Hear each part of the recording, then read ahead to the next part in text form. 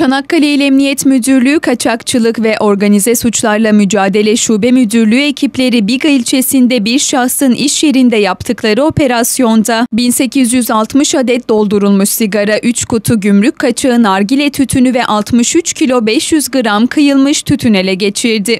Ele geçirilen ürünler Biga İlçe Tarım ve Orman Müdürlüğü'ne teslim edilirken iş yeri sahibi HS ifadesinin alınmasının ardından serbest bırakıldı.